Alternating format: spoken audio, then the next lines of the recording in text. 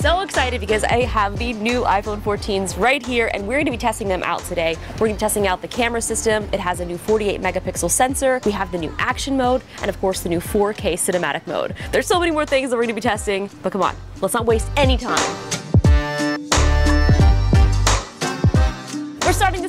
Front-facing video. They've updated the front-facing camera now, so everything looks so much clearer and crisper. Look at all my friends.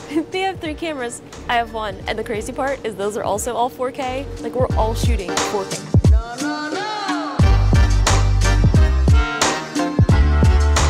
The iPhone 14 Pro Max does have an upgraded camera system, and there is a noticeable size difference between the 12, 13, and the new 14 camera bumps. So the 14 is significantly larger than the 12 slightly larger than the 13, but you can definitely tell when you put them up close to each other. That is some improved camera quality for us. New iPhones means we must protect them at all costs. Now, dbrand has been my number one go-to screen protector over the past couple of years, ever since they started doing these tempered glass screen protectors. I sent them a message and I was like, you better be making iPhone 14 protective screen displays because I don't know how I'll live without it. I have tried so many other ones and I kid you not, it has been by far the best thing ever. So what's great is when you buy one of the screen protectors, it actually comes with two.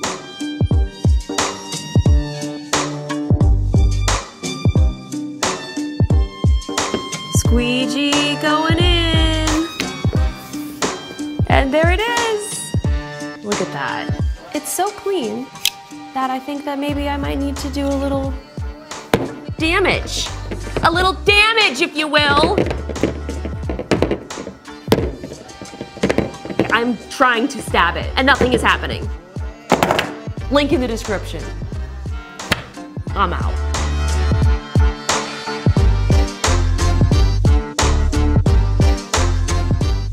The main camera is 48 megapixels with a quad pixel sensor and the second gen sensor shift optical image stabilization. Now this is where the lens will actually shift to give you a much more stable image. It has two times better low light photos and a new 20 millimeter focal length. The ultra wide lens is an f2.2 with three times more improved low light and a sharper lens that will improve the overall quality of macro shots. Macro was first introduced in the iPhone 13 so I'm so glad to see them improving it in the 14. The telephoto is an f1.78 that allows allows for a new 2x mode in addition to the 3x. The front facing and the rear cameras will all shoot 4K video. You can shoot in 24, 30, and 60 frames a second. If you want to do slow-mo, that shoots in 1080p, 120, and 240 frames a second. Another fun thing is you can also record ProRes video. That will also work on the front-facing camera, which is pretty fun. I don't normally shoot a lot of ProRes on my phone, but the fact that you can do this is pretty incredible. Now, ProRes is a much larger video file size, so if you are planning to shoot ProRes, make sure you do have one of the larger phones because you're definitely going to be eating up storage very, very quickly. Something that I learned recently from the younger generation, I am unfortunately, I don't think I can consider myself the younger generation anymore, that you guys call it 0.5. Like we always call it the wide angle camera, but you guys call it 0.5 deliberately. You're like, hey, can you 0.5 me? Didn't even know it was a thing. I freaking love it. Okay, so we're in 0.5 right now. Let's go to one, and this is kind of what it would look like if you were vlogging holding the phone out.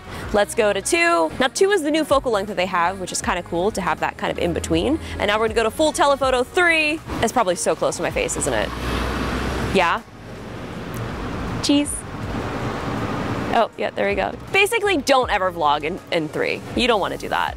So I want to test out what it looks like when you're shooting in ProRes or not. Now I like ProRes when there's a lot of colors and when I know that I'm going to have time to go in and actually edit it because with ProRes you'll have so much more data that you'll actually be able to pull out colors and make it look just how you like it. So these are both the iPhone 14 Pro Maxes. This is just the smaller version and the iPhone 14 Pro Max in purple is shooting in ProRes and the iPhone 14 in space black is shooting not in ProRes.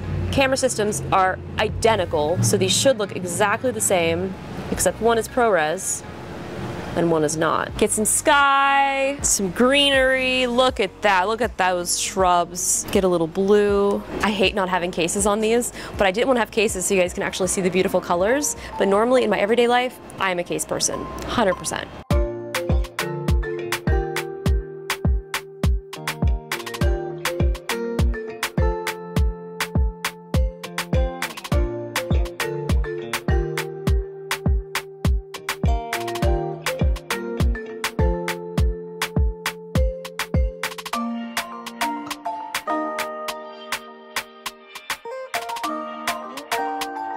The macro mode is definitely way more crisp. Now I am taking some photos and video here and it's crazy because as soon as I took my ice cream outside, like I can actually see the sprinkles. They started to sweat. Like there's beads of sweat on the sprinkles because it's so hot out here. I cannot see that with my normal everyday basic eye. When we go in there with this macro, you can see the beads of water on these sprinkles. This is fantastic. Like I can get so close. It gets crazy how close I can get. Like I'm actually able to see the beads of sweat on these sprinkles. Like I'm so close to the sprinkles, like I feel like I am, oh no.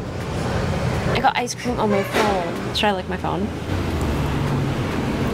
Zero judgment. Maybe a little bit. I deserve it. but this ice cream is so good. I'm gonna go get a napkin. That's disgusting. I'm disgusting. The COVID times. So now on the iPhone 14 Pro Max, you have a 2x telephoto option, which will bring you to a 0.5, 1, 2, and 3. Now on the iPhone 14, just regular, no Pro, you have the 0.5 and the 1x. So that is kind of the trade-off. If you are getting the 14, you're not gonna be getting that telephoto zoom, and I'll tell you what, I love being able to have that telephoto option because it gives you a lot more flexibility in your photos and your video.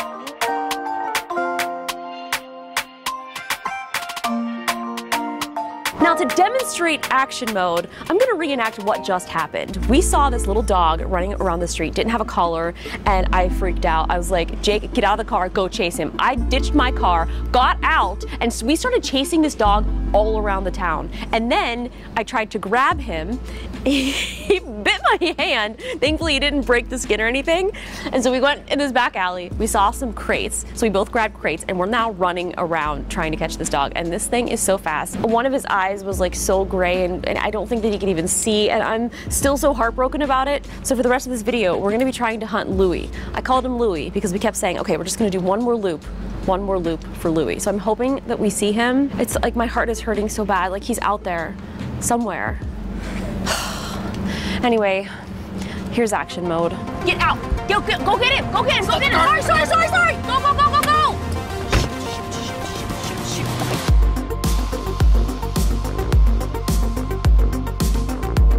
I think he's over here. Hurry up. Come on, come on, go, go, go, go, go, go.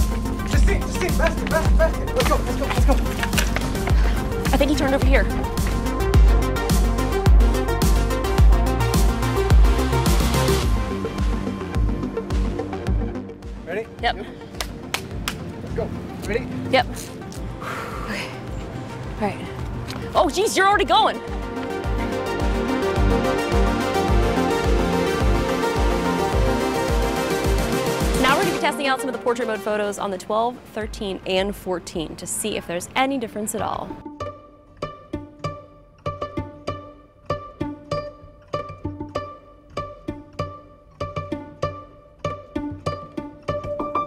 So now we're going to take raw photos on all three of the phones and see if we can see the difference because the new 14 is a new 48 megapixel raw photo. So it's definitely going to be way crisper.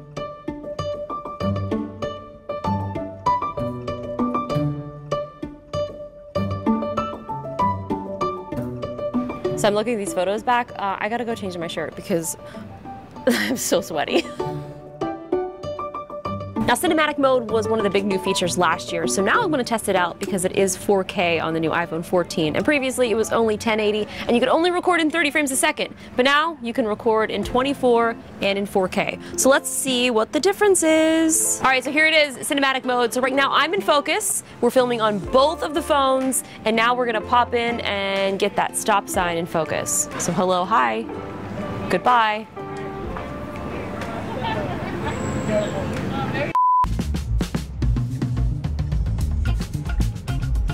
There he is. Do we have the crate? Oh my god. I can't believe it. There he is. Have you seen this dog around?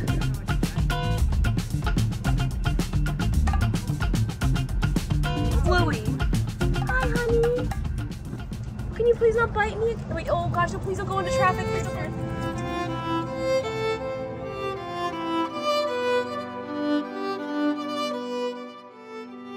Back from Louie Expedition again. We still cannot find this dog. It's breaking my heart. If anybody lives in Pomona and you've seen this dog, please keep a lookout for him. I'm so personally invested now.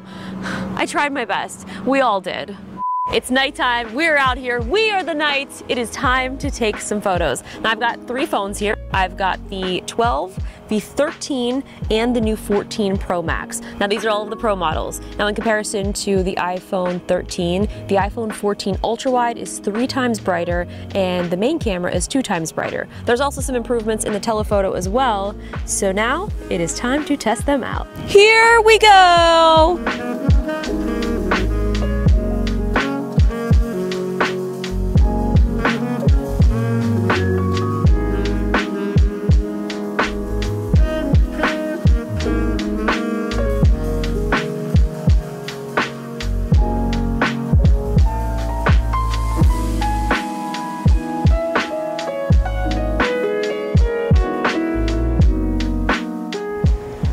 iPhone 14 has a new 9 LED flash. Now this is going to allow you to get a much brighter image, almost up to two times brighter, depending upon the lighting conditions. And it's called the Adaptive True Tone Flash because it will actually adapt depending upon the conditions surrounding your subject, but also depending upon the focal length that you're shooting the photo. Let's go test them out and take some flash photos. That's a big freaking roach. I'm gonna get him. Oh, I'm gonna puke. The thing that I definitely notice in looking at these photos is the skin tone. Like they were not joking. Like it's definitely a warmer tone. And then when you actually zoom in, there is definitely a noticeable difference, especially with the flash.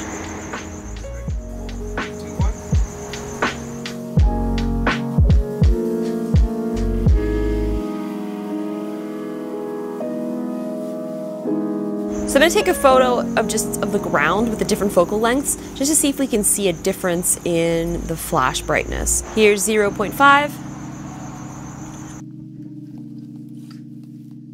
Here's two. And here's three.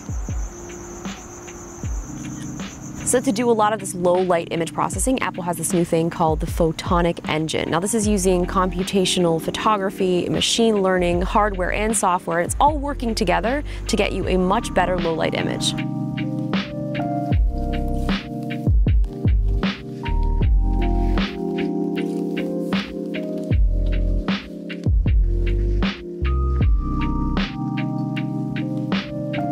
That's a wrap on our iPhone 14 camera test video. Of course, I'll be posting a ton more on my TikTok, on Twitter, on Instagram. I even freaking use Snapchat now. I know. I know. I have a bunch more iPhone and Apple videos that I've made over the past couple of weeks, so make sure you guys check those out here. I will put them on the end screen. And if you haven't already, please subscribe and also hit the bell so you'll be notified when I post new videos. And I would love to hear from you guys in the comments. Which photos look the best to you? Is there anything that we should have tested out that we didn't? Let me know, and you may see your comments or your suggestions in a future video. I'm gonna go to bed now because I am physically exhausted. It's Apple iPhone season, and I'm sleepy.